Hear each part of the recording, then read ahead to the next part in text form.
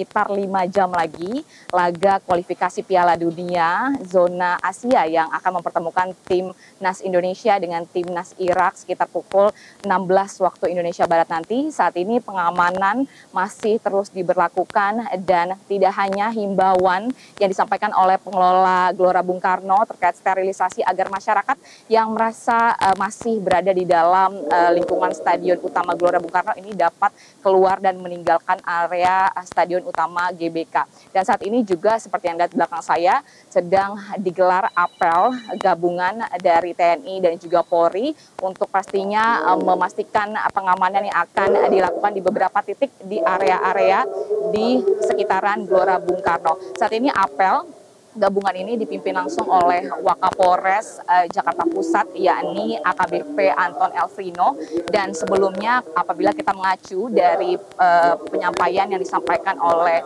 Kapolsek Tanah Abang yakni ada AKBP uh, eh,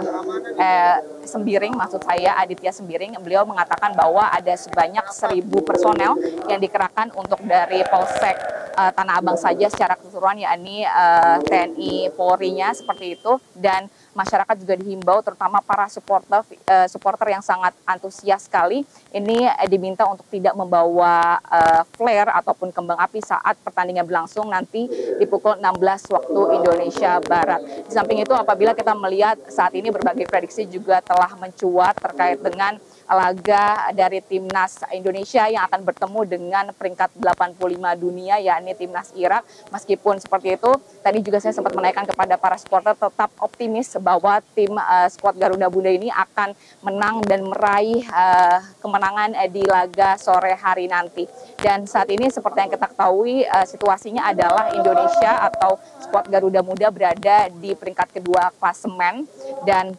telah memperoleh uh, secara total yakni sementara 7 poin dan Sedangkan untuk dari timnas Iran sendiri ini telah berada di peringkat pertama klasemen dengan total keseluruhan mencapai 12 poin dalam empat kali pertandingan. Artinya untuk uh, timnas Iran ini telah uh, berhasil uh, maju ke putaran ketiga dari kualifikasi. Dan kita akan terus menyaksikan bagaimana nanti laga antara timnas Indonesia melawan timnas Iran dan doa dukungan dari masyarakat Indonesia tentunya akan menjadi kunci utama dari semangat semangat performa bagi timnas kuat Garuda Muda.